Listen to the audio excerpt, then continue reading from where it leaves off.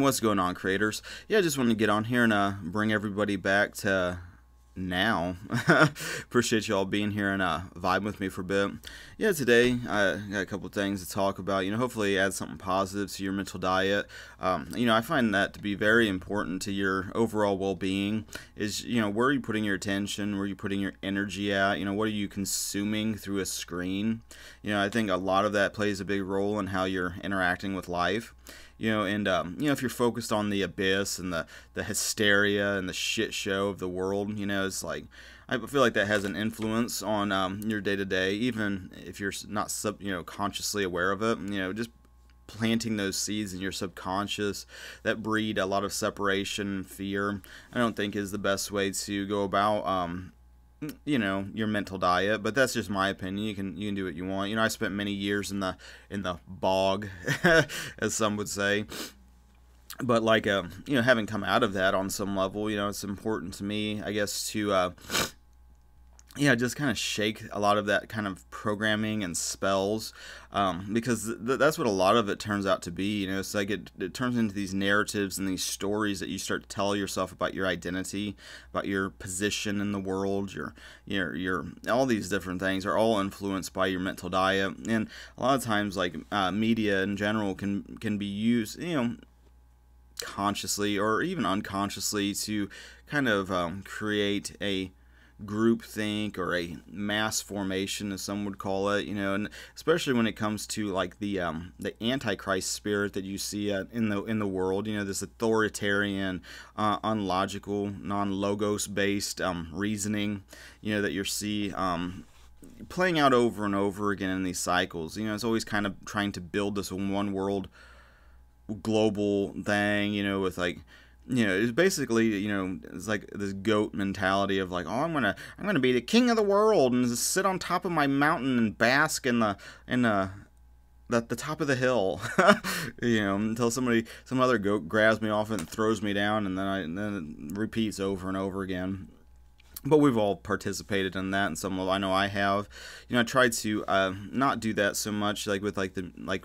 Uh, my current businesses you know I try to be the change on some level, you know, and like, you know, with that, you know, it's like I just got done, um, you know, with a really big job, you know, me and me and my guy just finished that up, which is really satisfying on some level.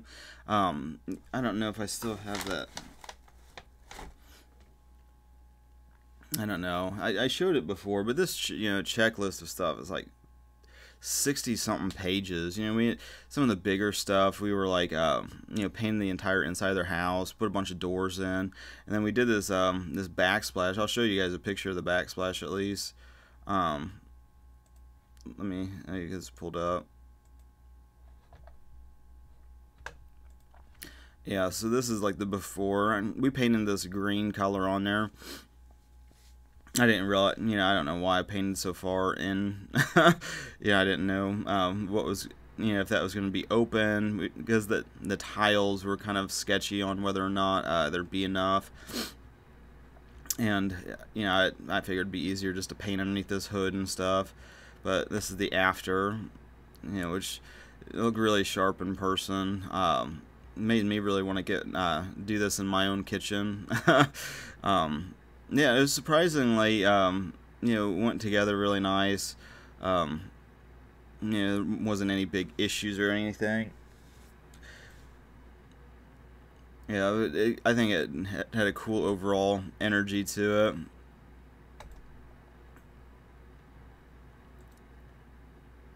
Yeah, definitely a fun little space. Yeah, let me get this off of here now.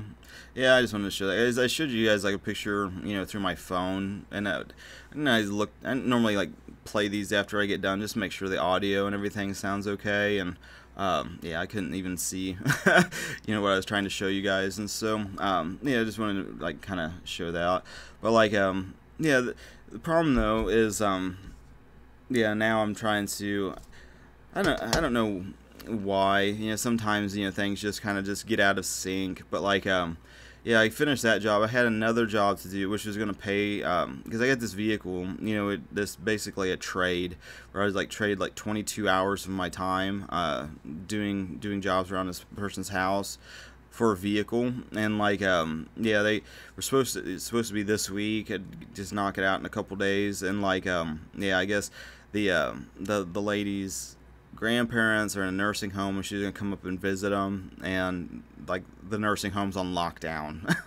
You know so that got pushed over you know like um yeah so trying to get some jobs for my guy to do you know this week. I'm sure it'll all kind of like come together. We didn't work yesterday just because i didn't i was just wanted to like kind of just unwind from that big checklist. And normally like um yeah, when it was just me uh, doing handyman jobs and stuff, I I would like do a bunch of jobs, get get like money for the month, and then just not you know do anything else. You know, it's like well, if I only need you know a couple grand to pay the bills and everything, then i will work like a week or two, and then take a week or two off, you know, and like focus on like the chick, you know, doing shit around my house. And so it's, now it's kind of weird because it's like, oh, I, I gotta make sure he's busy. You know, I don't want him to, you know, not have like money and whatnot and so trying to get some things for him to do. You know hopefully you can kind of hear my furnace is running. You know the seasons have changed on some level. There's snow on the ground uh, which kind of uh, you know I, I get a bunch of outdoor things that were supposed to try to get done you know before the weather changed and we'll see. It's supposed to be in the 50s today and 60s tomorrow. And so um, yeah we might have some time to get it done but like um we'll find out, you know. But like, um, yeah, I just want to give that kind of update. The uh, the turkey does not have much longer, um, you know, in this world. Basically, you know, we got I don't know a week and a half till Thanksgiving, and yeah, you're, you're gonna send the turkey to, to heaven, you know, and and um, yeah, the chickens they're laying a bunch of eggs. You know, they're about I think anywhere between six and nine eggs a day, you know, which um, it's pretty overwhelming amount of eggs. You know, it's like I, I for, we don't eat that many eggs. You know, and, and like now it's just like what do you do with all these eggs? You know, it's like you know, which is I guess is a good problem. It kind of feels like having like a revenue stream on some level because like we, we've been selling the eggs, giving the eggs away to people, you know, just so that they could have some like, you know, I was at the grocery store and they had like I can't remember if they're happy eggs or what the what they were, but like there's like eight dollars for a dozen eggs. It's like what in the? I mean, what are they feeding these things? You know, couldn't be any you know any any well you know any more well taken care of than ours. You know, they they they're out in the uh, and they're we chained off an area you know for them to kind of I don't know roam. you know, roam around, pecking at the ground and, and shit, you know, and then the uh, chicken coop itself is, you know, a pretty big, you know, big area for them. Yeah, it's like morning time where I'm at. I just like got up a little bit ago. Uh, yeah, I was getting ready to start the day off, but like, um, yeah, I wanted to get on here and like, uh, kind of give an update, kind of share some things. You know, I wanted to talk too about like forgiveness and how how much like the the mind wrestles with that you know trying to forgive somebody that's like wronged you especially if they're being a fucking asshole you know and they don't really deserve to be forgiven you know it's just like um like they, they know better they should know better because it's like been like um you know something that you've maybe brought to them before um, and they repeatedly just keep doing the same shit over and over again you know unconsciously in a lot of different ways but like um looking at that situation kind of like you know what does jesus say to do? Is like forgive them 70 times 7 so it's like whatever that number you know i feel like that's almost like a sarcastic number. Like i don't think there's actually like that like a uh, what is 7 times 7 49 so forgive somebody 490 times for the same thing. I don't know if that's 491 okay now now get the fuck out of here you know but like um I kind of take that more as just like almost like a joke. just like, oh, how, how many times you forgive them? A million times a million. I don't know okay. Uh, so, you know, kind of getting that on the radar is like, okay, well, especially when you realize like part of it too has something to do with you leveling up in consciousness. And as soon as you forgive that person completely, you know, you will feel um, like amazing. You'll feel a lot better. But there's still this resistance to it you know so like kind of a little homework today. You know think of like somebody who's just like when you think of them they just immediately get this negative dissonance in your own being, like, ugh, you know, fuck that person, you know, whoever just came up in your mind, you know, when I said that, you know, take that person, you know, and let's like start, you know, even if you can't at this moment, you know, physically come up to them and like give them a hug and say, "Oh, you know, I forgive you, I love you," you know, blah blah blah. Maybe it's like somebody did a crime against you and like you hope they're getting raped in prison and like experiencing a hell in there. You know, if it's out in that level, you know, some serious shit. You know, holding on to these grievances and holding on to um, um, I'm a victim mentality um, is not helpful for your consciousness, you know. So, um, you know, because it it uh, as you're thinking about that person and attacking them in your mind, you're you're choosing to attack and vengeance instead of being at peace, you know. And so you can kind of see how a lot of that kind of like mental activity is connected, you know, because you know ultimately the forgiveness is not so much about the other person; it's also about you, you know, and letting go of this kind of shit in your own being you know, and not to like, you know, you know, put some like weird energy out there, but you know, like Jesus was saying, we're supposed to forgive others so that we can be forgiven. Part of that I feel like is that connectedness dynamic of it. You know, not not to sit there and like um, you know, get too deep into it, but like um, you know, see where you're at with it. You know, and that specific person where it's like you're oh, you know, how dare you even make me think about that piece of shit person or, you know, whatever. Maybe it's the they. Um, you know, the truth community is probably the they. You know, it's like, oh, you know, the uh, the quote unquote elites, even though you're the elite. Um, but um, yeah, you know, so what, whoever and whatever it is, you know, it could just be the system. You know, it could just be like life circumstances you're not forgiving. Um, anything that you're holding atten- anything you're complaining about you know that's another big one. You know look at everything you're complaining is actually creating more of the, the thing that you're complaining about. It's like you're amplifying it with your attention. It's like you're that's how powerful you are though. I mean it's like what you put your attention on grows the thing you know? So think of you know think of it like that. You know it's like do i want to continuously grow this in my garden of life? Um yeah, like the shit to complain about, things to bitch and complain about, you know. And then, oh, shocking, you know, uh, there's even more things to bitch and complain about. You know, once I just started getting into that kind of flow, now it's just everywhere. you know, and so, you know, not, but don't guilt and shame yourself for like, you know, I got a bunch of shit, you know, I'm pissed off about, and people that I could care less if they jumped off a cliff. You know, just take it, take it where you're at start moving in that direction. You know, see see what are you capable of letting go of today. You know, can, can you think about that person and then just in your mind, what, what's what's the maximum you can do? Can you hope they don't die today? Can can you take, take that baby step? Can, can you hope that today, you know, they're they're not going to die?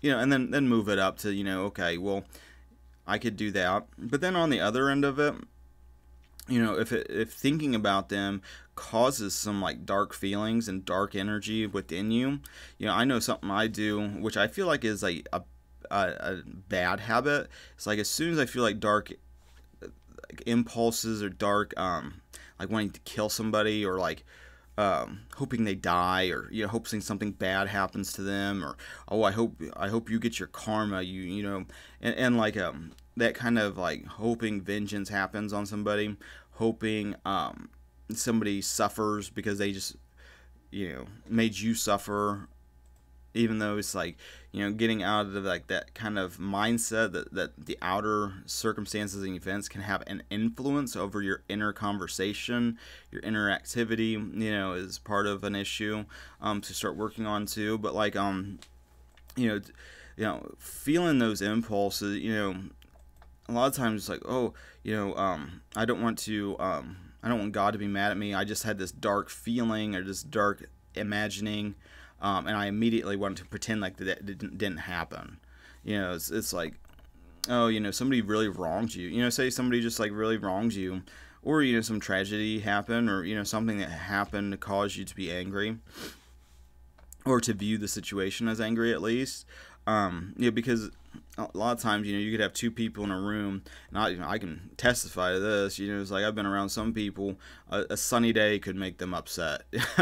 you know, meanwhile, you know, you could look at the exact same situation, and, and, it doesn't it doesn't even appear to be an issue. You know, a lot of these things it depends on your your mental conversation, and if you're already been telling yourself um, drama and, and whatever for weeks on end. It doesn't take you know that little bit of spark to just uh, just you know a lot of times you know if you're not being mindful of the present moment and you drift into these states of unconsciousness you know pretty easily you know if you're not um, bringing bringing yourself back to a you know this is only ever now you know it's like why why am I drifting into the you know how long am I going to be doing this mental activity all day? Am I going to waste my whole day doing this?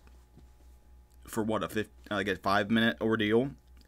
Like an actual ordeal or you know and then i'm going to spend weeks hours days you know however long in my mind upset about it pissed off about it you know wishing death on people hoping you know worst case scenarios happen to somebody else or you know whatever we're telling ourselves so that they get theirs and we can somehow feel better by watching them suffer. Um, you know catch those feelings when they happen but then also realize that it's happening for a reason and it's there regardless of whether you want to process it or not.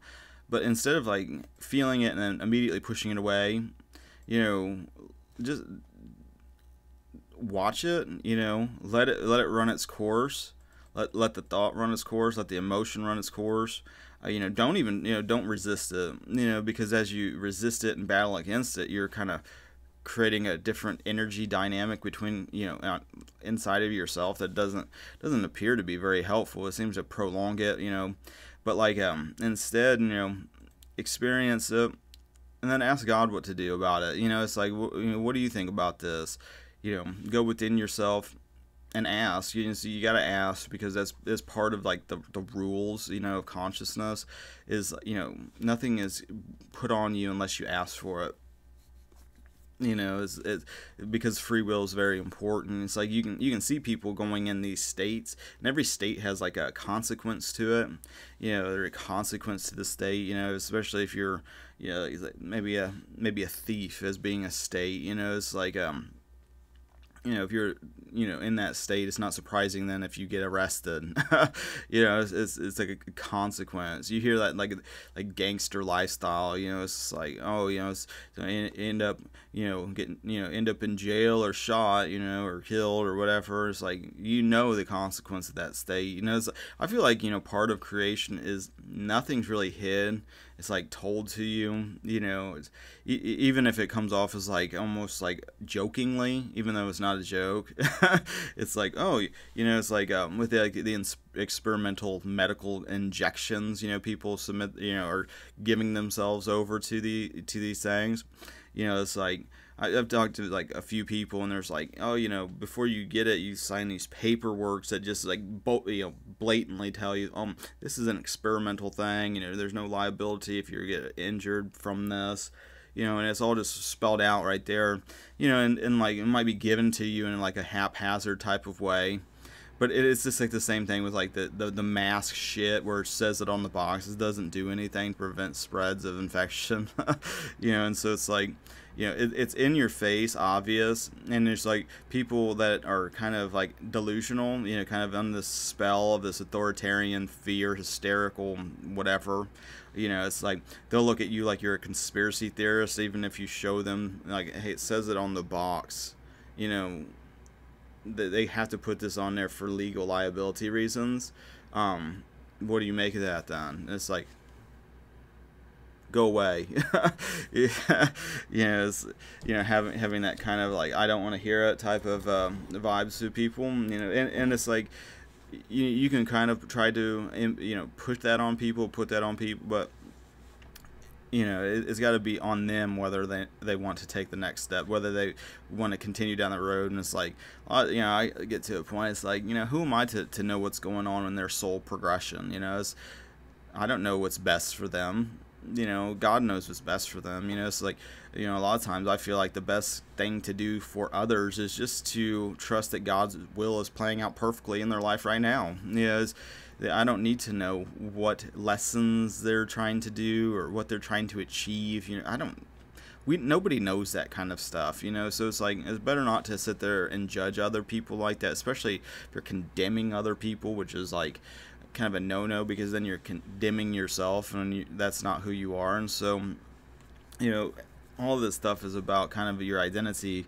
But you know in that identity you know when these things you know are brought to your consciousness you know maybe maybe god creates some sort of a drama shit show in your marriage for some reason. You know it's like you sit there being so angry at the other person you know and, and, but look at that you know like ask yourself you know why why did that happen you know what you know it's like okay i've been angry for days you know, uh, for what, why, why was I so triggered by that? You know, And what's the good that comes out of this? You know, or, or maybe you have like harsh feelings. You're just like, oh, I just, I just want to get in the vehicle and just drive away and never come back, and you know this and that.